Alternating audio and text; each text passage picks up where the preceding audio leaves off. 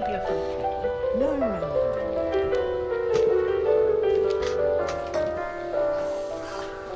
I can't begin to tell you how much you mean to me. My world